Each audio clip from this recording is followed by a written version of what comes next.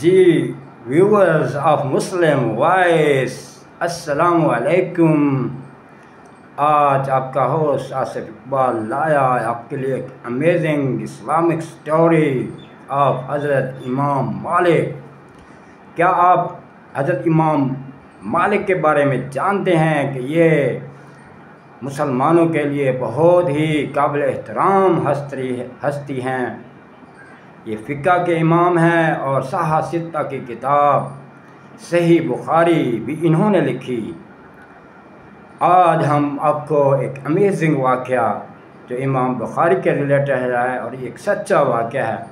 امام بخاری رحمۃ اللہ علیہ اپنی درس و تدریس کے سلسلے میں مسجد میں موجود ہیں اور جب درس و تدریس سے فارغ ہوتے ہیں تو فیصلہ کرتے ہیں گھر جانے کا۔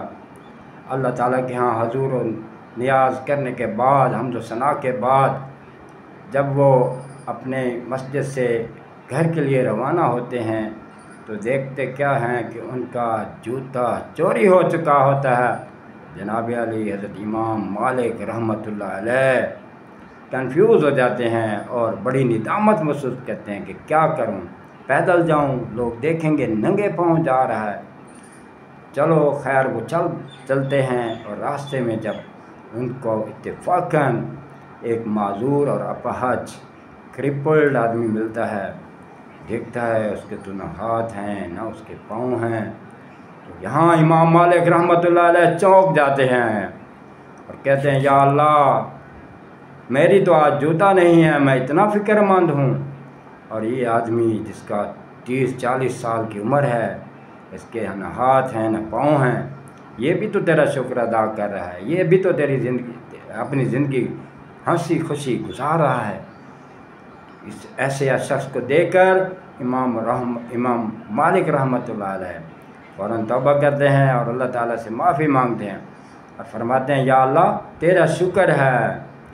اور جی ہاں یہی تو بات ہے جو ہمیں بھی کرنی چاہیے۔ ہم ہزار نعمتیں ہونے کے باوجود بھی ناشکری کرتے ہیں۔ دیکھیں، کچھ لوگ خیموں میں رہتے ہیں، بارشیں آتی ہیں، خیمے اڑ جاتے ہیں۔ سالوں سال سے وہ رہتے ہیں۔ ان کی زندگی ہی ان خیموں میں ہے۔ ہم پکے پکے گھروں میں رہتے ہیں اور پھر بھی نہ خوش ہیں۔ ہمارے پاس گاڑی نہیں ہے، بنگلہ نہیں ہے۔ جبکہ اللہ تعالیٰ کہ ہاں یہ گاڑی اور بنگلہ، یہ محض دنیا کی چیزیں ہیں۔ آخرت کے لیے تو ہمارے لیے جنت ہے، جنت الفردوس ہے۔ قرآن پاک میں بھی اللہ تعالیٰ نے فرمایا، اے لوگو، اے مومنو تم ہر حال میں میرا شکر ادا کرو، میں تمہیں اور عطا کروں گا۔ یہ جو نا شکر کی کیفیت ہے، یہ اللہ کو سخت ناپسند فرمائی۔ اللہ تعالیٰ کو سخت ناپسند ہے۔ خود بھی شکر کریں اور لوگوں کو بھی شکر کی ترغیب دیں۔ شکر کرنے سے اللہ تعالیٰ ہماری روزی بڑھا دیتے ہیں۔ اور اسی لیے ہمیں اللہ تعالیٰ نے سب سے پہلی صورت فاتحہ میں پڑھا سکھایا ہے کہ الحمد رب العالمین، ہر حال میں اللہ کا شکر ادا کرنا ہے۔